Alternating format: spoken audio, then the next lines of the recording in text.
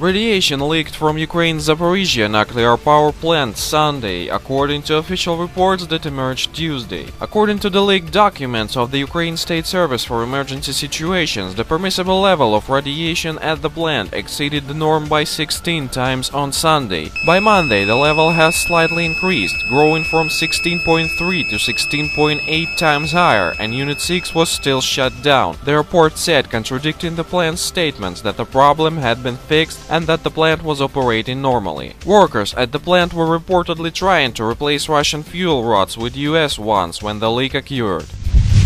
Remember, according to Ukrainian media, Ukraine signed a contract in Brussels on Tuesday with the US company Westinghouse to increase supplies of its nuclear fuel to Ukraine's nuclear power plants. Today in Brussels, there will be signed an agreement with Westinghouse on additional supplies of nuclear fuel for Ukrainian nuclear power plants. We used to be totally dependent on Rosatom in the past, but now we are diversifying. Ukrainian Prime Minister Arseniy Yatsenyuk said at his year-end press conference in Kiev. Considering that fact, we can suggest that the reason of radioactive leak at Zaporozhye nuclear power plant was criminal actions of the Ukrainian government and the US company Westinghouse.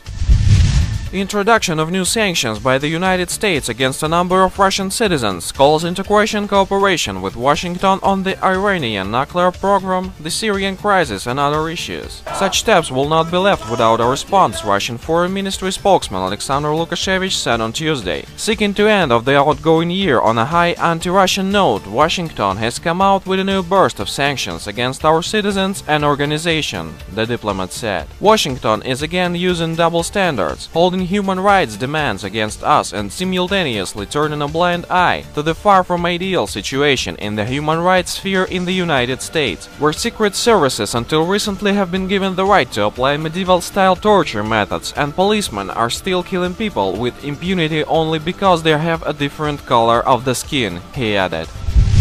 Earlier, the United States has imposed sanctions against four Russian officials. The officials were sanctioned by US State Department on Monday for alleged human rights violations. The officials are Deputy Prosecutor General Victor Grin and investigator Andrei Strizhov. Two senior officials of the Chechen Republic have also entered the list over alleged kidnapping and torture of an activist. The individuals are banned from traveling to the United States. Any assets they hold under US jurisdiction are also liable to be blocked. There are now 34 names on the sanctions list.